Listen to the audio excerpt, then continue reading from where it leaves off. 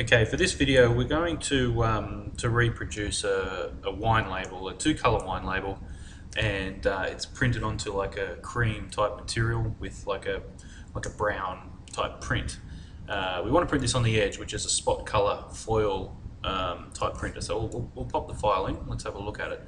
So we can see here the file itself is, like I was saying, printed on cream with a brown type you know, lettering. If I wanted to print this on an edge as is, if I just brought this bitmap in as you see it now, it would would not only try and print the background, it would try and print it in process colors, it just wouldn't look any good. I want to use one foil on a cream background that you see here. So, so we need to get this into a type of format or a type of file that the edge will, will understand. It's and it's it's pretty easy in uh, in Photoshop.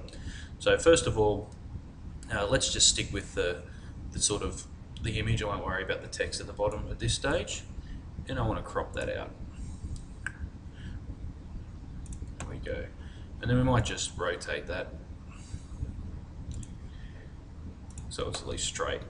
Um, let's make it bigger. At the moment, that's at 86%. If I zoom in a bit, that's that's roughly the size that's on the screen. But if we enlarge it in Photoshop first, we can get a better quality result out of uh, out of Composer. So I'll, I'll resize that. Let's make it percentage, and I'll make that 400% bigger. And I can even change the settings down here for best for enlargement, which will give me a what we call interpolation or a bit of a bit of guesswork in between the shapes. Okay. So it's still a little bit, bit pixelated, but better if I try than if I try to blow it up by any other means. Now we want to make it grayscale, image mode grayscale, to get rid of the color.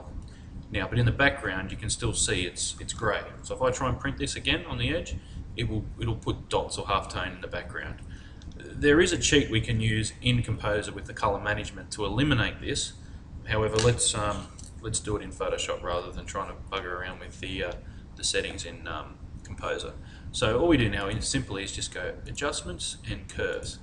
And in here we can adjust where the white and the black kick in. So you can sort of see straight away there, if I just play with this sort of, this curve here, we can, we can make things, you know, very light, very dark, depending on where we put these. Won't go into any detail on what it represents, just muck around with it basically and you'll, you'll get to where you want to be. So let's say that looks okay. So zooming out, we can see now we've got basically our grayscale image. It's not quite black and white. If I convert this to black and white,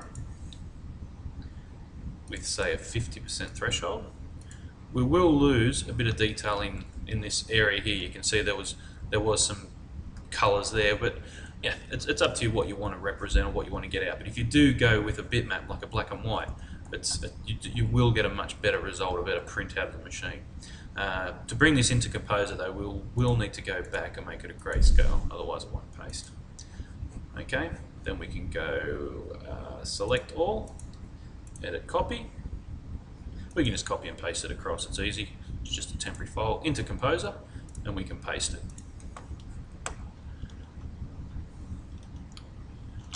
And then we have it. Now we have a solid black and white image. If I press F9, you can see it's still an image, so we can do one or two things with this. I can set some spot colors instead of the process, or I can actually vectorize this if I wanted to, which uh, which may be, may be an option. So you can use, then you can um, yeah, maybe able to do outlines or create cut lines around here using the outline tool. Um, but for this exercise, we'll just leave it at that. The only other thing you may want to change in here, if you click on your image fill here, we can say, all right, I, want to, I don't want to print it as a process, I want to print it as spot black, okay, and there we go. Now, now when we actually print this, it'll print with one foil onto whatever color you want. And to be really tricky, we can go down here and change the color of the vinyl, say to be a whatever color vinyl you want, and then you can then change the print to that to that sort of brown color that you saw before. Oops. We'll flick through here and look for a brown foil. Burgundy even, doesn't really matter, you get the idea Uh, just get it from the drop down menu might be a little bit easier. Okay, so now we've, we've pretty much got the result which we started with. I'll open this up again so you can sort of see. Oh, where did we go? No, we don't want to save that. Let's bring in our file again. And now you can see there's the, the original, if you like, has a bitmap. And then here is our Gerber Edge component using only one foil, okay, on a single coloured vinyl. So yeah, a little trick which will come in handy.